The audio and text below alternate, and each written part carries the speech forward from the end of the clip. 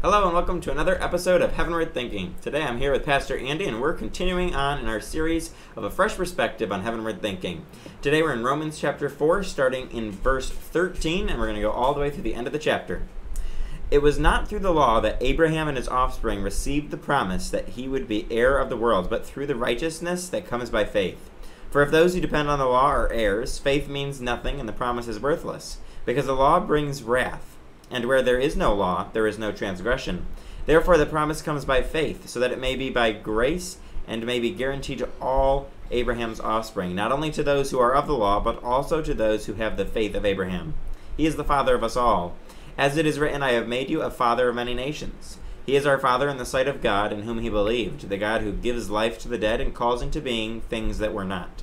Against all hope, Abraham in hope believed, and so became the father of many nations. Just as it had been said to him, So shall your offspring be. Without weakening in his faith, he faced the fact that his body was as good as dead, since he was about a hundred years old, and that Sarah's womb was also dead. Yet he did not waver through unbelief regarding the promise of God, but was strengthened in his faith, and gave glory to God, being fully persuaded that God had power to do what he had promised. This is why it was credited to him as righteousness. The words, it was credited to him, were not written for him alone, but also for us, to whom God will credit righteousness. For us who believe in him who raised Jesus our Lord from the dead, he was delivered over to death for our sins and was raised to life for our justification. What stands out to you here is we've been going through Romans, we've been seeing, especially in the past couple of chapters, that salvation comes through uh, grace and faith alone, not by our own works. We've had a couple uh, episodes right in a row that really dug into this whole concept of, of not based on works, but based on faith. What do you see here that relates to that? Yeah, well, I think what sticks out to me is that Paul's doing it again. Mm. Right, so it's just another section that is saying, listen, this is about faith. Now, again, why is that important? Because you have an entire religiosity based on works right? So these it's been ingrained for two thousand years into these people that hey, you've got to do the right things, right? Now, Jesus comes, he's making a transition from doing the right things only to be the right person, so that the doing will come from your being, right? We live in this world where people still want to think that we just have to do right things and we're going to get to heaven. No, you have to be right mm. in order to get to heaven. You cannot do that without Jesus Christ. What I love about this is Paul once again ties in it's all about Jesus, right? You can't be right on your own. There's not enough good things that you could do that would make you right. Absolutely. It takes it a step further, just as Jesus uh, does in his teachings in the New Testament. It takes the Old Testament and takes it a step further and shows really the heart of the law. It wasn't just about works, it was about uh, your heart and, about who you are as a person. And Jesus wants to change who we are so that we'll become more like Him. We can't just do good works. We need to be totally changed as a person from the inside out. Then our actions will be good when we have a, a totally changed heart. But it's got to start with uh, salvation through Jesus Christ, and through Jesus Christ, and it's got to be a heart matter, uh, not a um, outward works uh, kind of persona uh, through justification like that. It has to be inside. Yeah, so you're you're constantly fighting this battle, and we see it in churches all the time, right? That our entire religion is based on the need for Jesus Christ. Yet we're constantly trying to downplay that need and make it about works. What works do is they downplay the need of Jesus, right? Mm. What, what we want to do is to admit we have a need for Jesus, and Jesus then allows us to do good things, right? That's a totally different. It flips it right on its head from where, hey, I'm going to do enough good things to get to heaven to you can't do enough good things to get to heaven. You have a need for Jesus. So the question becomes, why don't we follow Paul's example and tell people, listen, you have a need for Jesus, mm. right? You don't have to pretend you have it all together, right? I love what he says, right? That this whole thing leads, right? to judgment, right? It leads to uh, this this whole idea of transgressions and all of this stuff, right? Mm. Which is where we do, like, like we do this too often. We end up judging people off of works, what mm. they do and what they don't do. Right? We look at that and we're still looking at people and going, "Oh, you did this. Oh, you did this." Well, like listen, you can look at people and say, "Yep, you did this, and you just need Jesus." Absolutely. It's really putting the focus on we have to have a need for Jesus. We all have a need for Yeah. Jesus. We can't measure up. As it says, the law brings wrath. That, that puts it into perspective. We are deserving of wrath, and wrath is coming, uh, as we've said and we've seen all throughout Romans, especially chapter 1, and brought it up that wrath is coming against all the unrighteousness of men, uh, and the wrath of God's coming. So when we put that into perspective, we really need Jesus. We need a Savior, someone who can uh, take that punishment for us, who already took that punishment for us, and that I think gives us a lot of hope uh, for our future in heaven with Jesus. Yeah, so we get in the way all the time of of what's going on with God, right?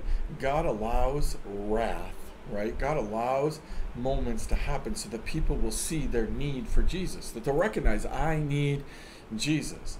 But instead, we get in the way and try to downplay what they're doing, and we start saying like, ah, you know, like we really need you to serve in this position. So what you're doing is not that bad. We really need you to do this. So ah, it's not that bad.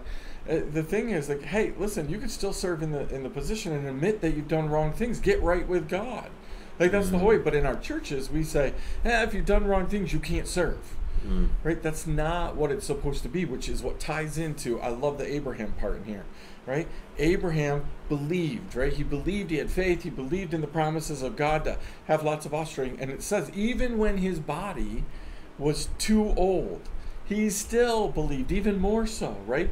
Into the impossible, right? He believed that God is a God of the impossible. Mm, absolutely. My next point was going to be about Abraham and how awesome it is that Paul used this uh, Old Testament example that all the Jewish people would have known uh, and showed that it wasn't based on the law, that Abraham had faith, and that's how he was justified before God. It wasn't that he had this perfect law given to him uh, that he was following, and that he was this awesome person. No, God called him, and then he responded with faith, and I think that's the same for us in our own lives. Jesus calls each one of us, uh, and we have to decide what to do with that. We can respond with faith or we respond by rejecting him. And I think right now what we see in much of the world is everyone's rejecting him. Uh, but we've got to get back to having faith in Jesus and not uh, deciding that we can do things on our own because we're definitely not able to do things on our own. We need a Savior. We need Jesus. Yeah, isn't it funny? They're rejecting Jesus, but still going to church. Why? Mm. Because church has presented a different Jesus, right? Which is when you go to the story of Abraham, you could look at this. You could question. You could say, "Well, did he really have unwavering faith? Because he kind of, you know, tried to make it happen on his own with the whole Hagar thing, right? Could, did he really do all that? The, problem, the, the the truth is, Abraham never wavered in faith that God was going to keep His promise. What he did was try to figure out how to make that promise come true, which is Mhm. where you and I are all the time. It's where our works come in, right? God says and promises certain things for us. I'm going to do this for you. And then we try to figure out how to make that happen. How to, no, your works don't make the things of God happen per se, right? Our works aid in what God is doing. God's mm-hmm. got to start it. God's got to do. Notice when God was finally ready to give Isaac to Abraham, he came up with a plan, and Abraham and Sarah just had to go with the plan, right? But up until that point, they're just trying to figure out how do we get there? How do we get there? We look at we look at what's around us, and we can't we can't figure out how to get there. Works sometimes get in the way of that. We try to figure out how do we get there. Mm, absolutely, yeah. I think a lot of us are in that same boat where we have we have faith in Jesus. We know He's uh, called us to something. We know He's promised us something. Uh, we know that we have a future in heaven with Him. But then we often struggle with the waiting the period. We, we struggle with waiting for God to do things, and, and we know that God's ways aren't our ways, and His thoughts aren't our thoughts. But we tend to forget that in the in the next moment. We'll remember that God's going to be faithful, but then the next second we doubt that He is going to be faithful, and we doubt His timing. And I think what we see here in, in the example of Abraham, he had to wait so long for his son to finally be born uh, at a very old age uh, that everyone thought was impossible. He had to wait for God's timing, and when he tried his own timing, it didn't work out. But when he waited on the Lord's timing, uh, things worked out in an amazing way, and, and he became the father of many nations. Yeah, yeah. I love I love at the end of that. You know, Paul talks about the fact that his faith was counted as righteousness. It wasn't the works. so it's not what he did with Hagar. It's not not the fact that him and Sarah could create a baby. They, the truth is they couldn't create a baby, right? Mm. God had to come in. It was it was Abraham's faith that was credited him as righteousness. Not all the things he was doing that was credited. And I think it. I, I love that Paul says that's not just for him. It's for us too, so that we could look at the story and go, yeah, it's faith right? That helps us live right lives. Mm. It's not what we do. God's not looking down and going, "Oh, I couldn't have done that without you." Oh, great! Glad glad you did that, man. I was so worried about whether we could get that done or not. God's looking down at you and I and saying, "Hey, I'm doing these things. Do you have the faith enough to join me? Do you have faith enough to believe that the impossible is possible?"